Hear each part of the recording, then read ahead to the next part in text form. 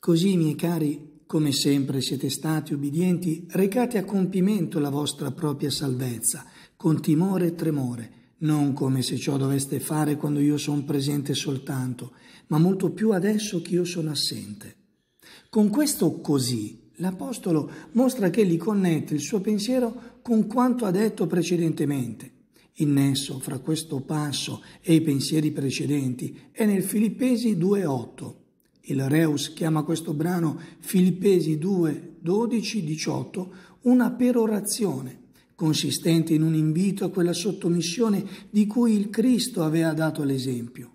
Come Gesù si era sottomesso alla volontà di Dio, così debbono i fedeli, con uno spirito di assoluta sottomissione, lasciarsi guidare dallo Spirito di Dio sulla via della santificazione e della vita. Come sempre siete stati ubbidienti si intende a Dio prima e poi a me, apostolo suo. Recate a compimento, lavorate a compire, a terminare la vostra propria salvezza. Ebrei 12, verso 28.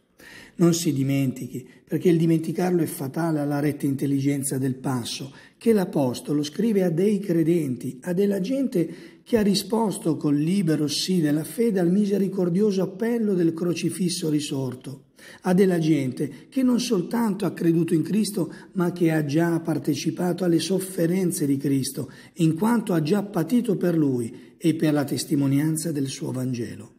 Quando dunque l'Apostolo dice a gente così fatta, recate a compimento, lavorate a compire, a terminare la vostra propria salvazione, egli non fa altro che incitarli alla santificazione Essi sono già sulla via della salvezza perché hanno creduto in Gesù. Si tratta ora di vegliare, di resistere alle tentazioni, di essere attenti al dovere, di perseverare nelle buone risoluzioni, di continuare insomma usque ad metam e non è lavorio da prendersi a gabbo codesto, non è lavorio che si possa fare così a testa alta e si convien farlo con timore e tremore. Timore non è paura, è il sentimento creato in noi dalla coscienza della nostra debolezza e dall'esperienza che abbiamo fatta e facciamo della forza che ha la tentazione.